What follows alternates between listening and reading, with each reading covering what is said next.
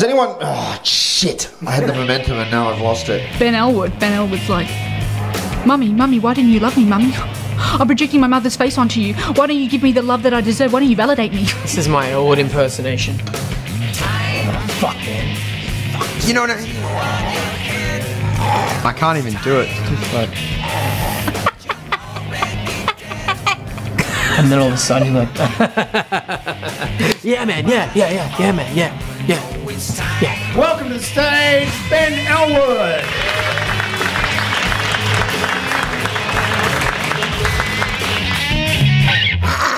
Yeah, I nailed it. Fuck you.